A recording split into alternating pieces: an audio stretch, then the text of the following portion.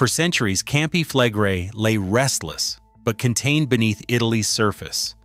Now, in the last 48 hours, scientists have detected a pattern of fracturing in its crust never recorded before, while the caldera's floor has surged upward faster than ever observed. Ancient containment zones could be on the verge of failing, raising urgent questions. What is actually happening below, and how close is this volcano to erupting in ways we have never seen? The true stakes are only beginning to unfold.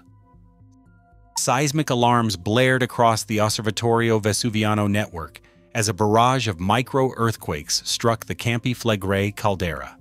In just hours, waveforms revealed something new, a distinct pattern of brittle fracturing cutting through the upper crust beneath Pozzuoli. For decades, scientists have tracked the volcano's slow unrest. Now, the signals are sharper, more chaotic, and packed into an unnervingly short window. Instruments recorded hundreds of tiny quakes, too small to feel, but together they formed a signature that volcanologists had only theorized about. The caldera's brittle shell, already stressed by years of uplift, is now riddled with fresh cracks. Some of these fractures cluster along a thin ring encircling the uplifted ground, a structure mapped by artificial intelligence analysis and confirmed by a sudden spike in seismic energy. Residents reported faint rumbles, but the real drama unfolded below their feet. Sensors captured sharp jolts and low-frequency tremors, hinting at rock breaking under pressure. For the first time, researchers could see the fractures lacing the caldera floor in near real time, not just as a slow trend, but as a flurry of mechanical failure. Each new quake is a warning shot from beneath the city, a sign that the system is straining against its natural limits. The question is no longer if the crust is being fractured. It is how much more it can take before something gives way. The ground beneath Pozzuoli is not standing still. Since 2005, measurements from high-precision GPS stations, like the one at Rione Terra, show the caldera floor has risen by about 1.3 meters, a vertical shift that would swallow the height of an average child. In the past year alone, the uplift has added another 20 centimeters, with rates now averaging around 1 centimeter per month. These numbers are not just abstract figures. They translate into real, visible changes. Streets buckle, ancient walls develop fresh cracks, and residents report doors that no longer close as they once did. Scientists call this slow, relentless rise, bradyseism, a term for the breathing motion of a restless volcano. Each pulse of uplift reflects pressure building deep below the surface, as fluids and gases accumulate in the porous rock. The precision of these measurements is striking. Millimeter scale changes tracked by satellites and ground sensors confirm that this is not a passing fluctuation. Instead, the ground is rising faster than at almost any point in recent memory. For many, it feels as if the volcano is inhaling, stretching the crust to its limits. The question now is, what happens when that pressure finds nowhere else to go? Every centimeter of uplift is another reminder that the forces beneath Campi Flegrei are not finished yet. Maps of the caldera now reveal a geometry that defies the old playbook. Instead of a single, tidy ring of faults, new cracks are radiating outward from the heart of Campi Flegrei, cutting across the uplifted ground like spokes on a wheel. These fractures are not just following the classic circular pattern that usually marks the boundary of a restless caldera, they are branching out, reaching for the city blocks and ancient ruins that sit above. Geophysicists tracing these lines see more than just surface scars. They see evidence that the stress inside the volcano is searching for new escape routes. The rock mechanics are clear. As pressure builds, the crust does not yield in a predictable way. Instead, it breaks along paths of least resistance, sometimes linking up old faults with fresh ruptures.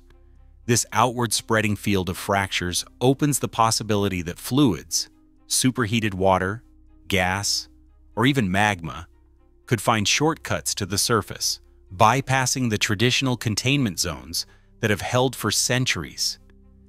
Each new radial crack is a potential pathway, a weak spot in the crust where the next phase of unrest could focus.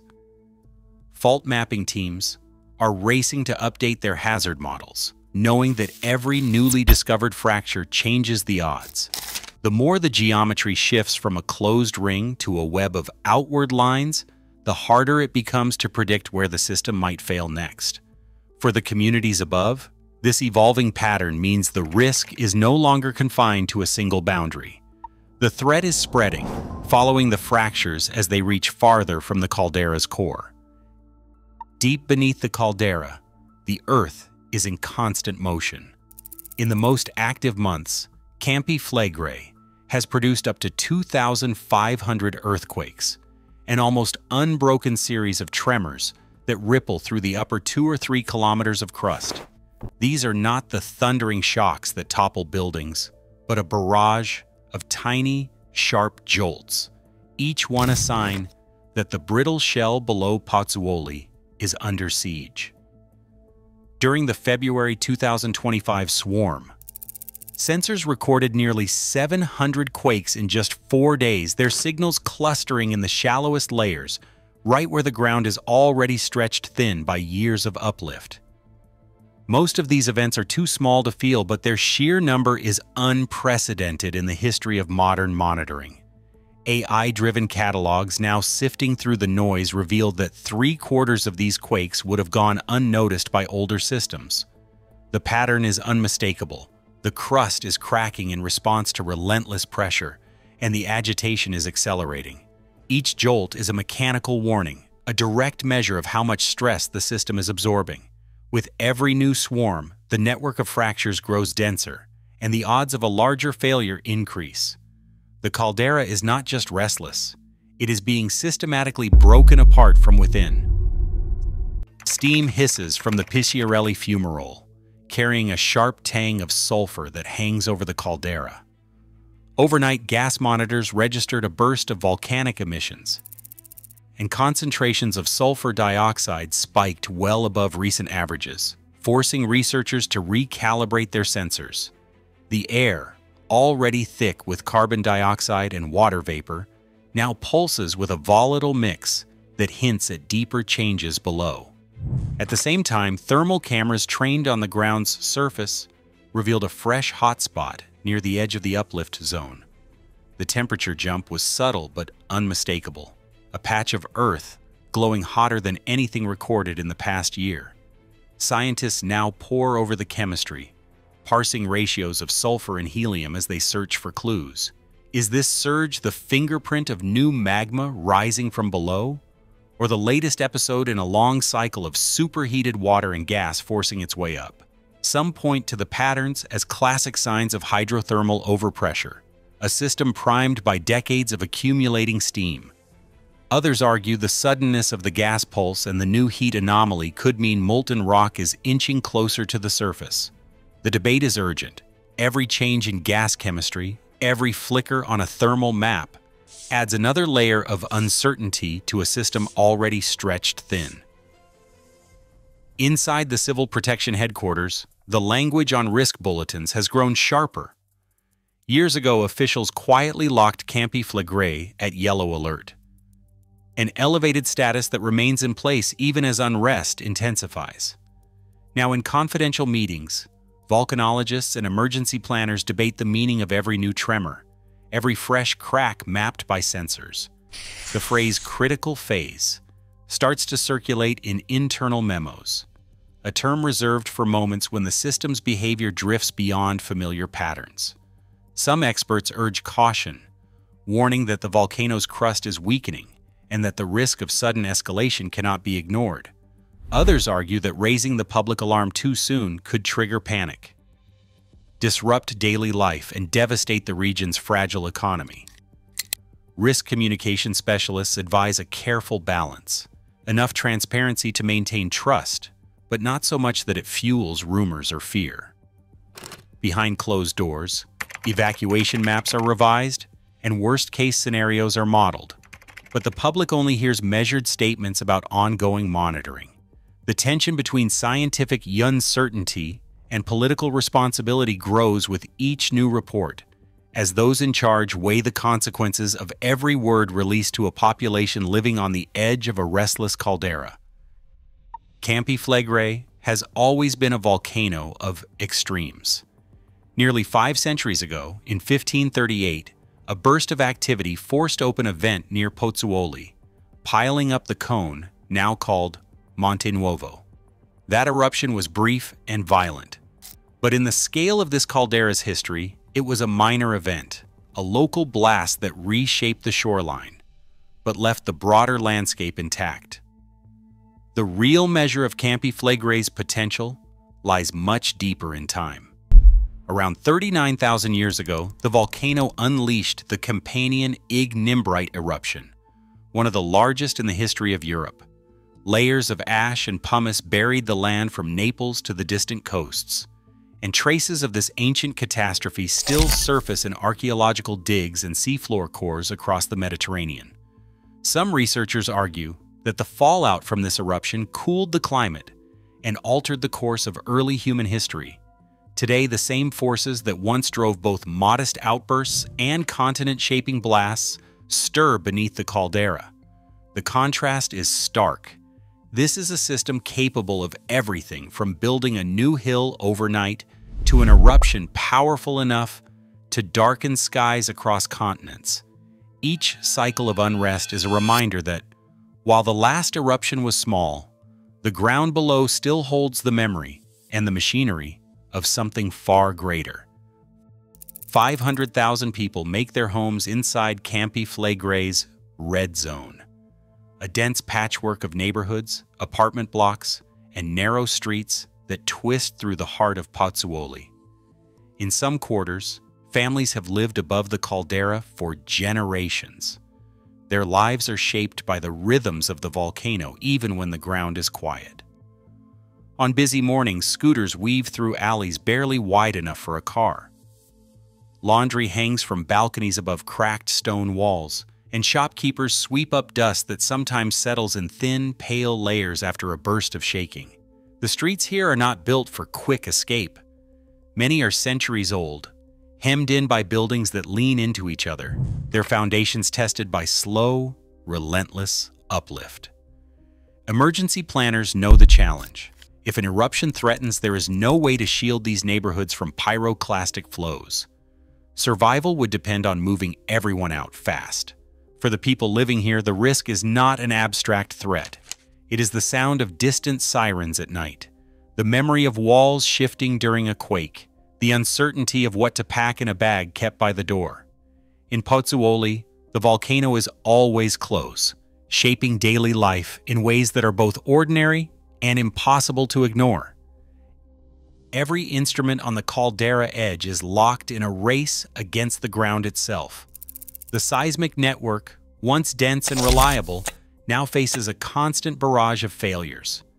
After each strong quake,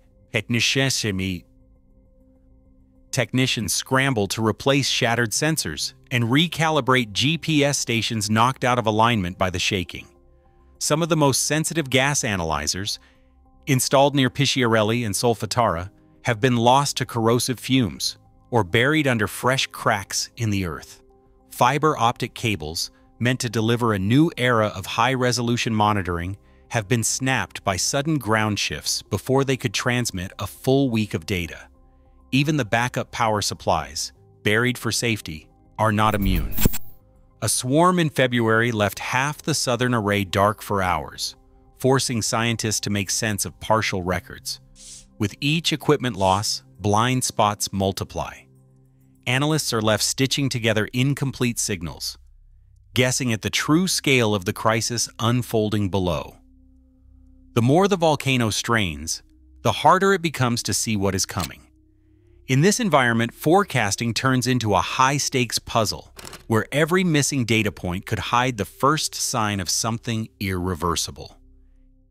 Inside the laboratories, the real mystery lies not in what's happening above ground, but in the chemistry of the gases rising from the caldera's depths. Every week, teams collect samples from the Pisciarelli and Solfatara fumaroles, hoping for a pattern that will finally reveal the engine behind the unrest. They measure the ratios of helium isotopes, searching for a spike in helium-3 that would point to fresh magma, and parse the shifting balance of sulfur compounds, each one a potential fingerprint of deep processes. The results are anything but clear. Some analyses hint at a stronger magmatic signature, an influx of mantle-derived gases that would mean new molten rock is forcing its way upward. Other data fit the story of a hydrothermal system, pressurized steam, and superheated water boiling through fractured rock. The sulfur isotopes do not match those from past eruptions, leaving researchers to debate whether they are seeing the signals of a new phase or just the chaotic churn of a system under strain. For now, every test result raises more questions than answers, and the true driver of Flegrei's agitation remains hidden, leaving scientists and residents alike to wonder what force is really building beneath their feet. Computer models, fed with decades of seismic and deformation data, now simulate the unthinkable. In a moderate eruption scenario, pyroclastic flows sweep outward from the caldera's heart, racing across the urban sprawl of Pozzuoli and reaching the outskirts of Naples in less than 15 minutes. These flows, a lethal mix of ash, gas, and rock, travel faster than any evacuation plan could hope to match. Simulations show that depending on wind and vent location, dense clouds could overrun the red zone and threaten hundreds of thousands before emergency sirens finish sounding. Ashfall blankets the region, collapsing roofs and choking infrastructure. In the most severe case, the models calculate that a full caldera collapse would send shockwaves through the Bay of Naples, triggering local tsunamis and potentially injecting enough ash and sulfur into the atmosphere to cool the global climate for years. Each outcome is mapped in chilling detail, minutes until impact, zones of total loss, ripple effects that reach far beyond the crater's rim. For planners and residents alike, these numbers are not distant hypotheticals. They are the hard limits of time and distance, drawn by the physics of the volcano itself. Inside the emergency command centers, maps and models are only part of the equation. The real crisis plays out in the space between scientific uncertainty and the need to act. 500,000 people live in the red zone, but no one can say if the next phase will unfold over weeks, months, or years, or if it will happen at all. Planners revisit evacuation routes drawn in past crises, weighing the cost of moving entire neighborhoods against the risk of waiting too long. Memories of the 1980s linger. Then tens of thousands were sent away for months, only to return when the volcano quieted down. Some residents now keep bags packed, others refuse to consider leaving. The science offers probabilities, not promises. Models warn that if a major eruption begins, pyroclastic flows could reach the city in minutes, but those same models admit the system might simply settle back into uneasy silence. Every day, officials must decide act on incomplete information and disrupt 500,000 lives, or hold the line and hope for more clarity. There are no easy answers, only the knowledge that whatever choice is made, the consequences will echo far beyond the caldera's rim.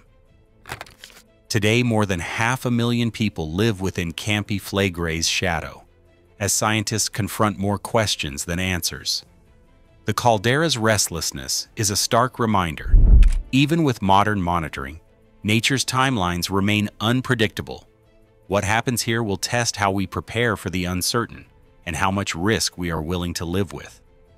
Share your thoughts on how society should respond.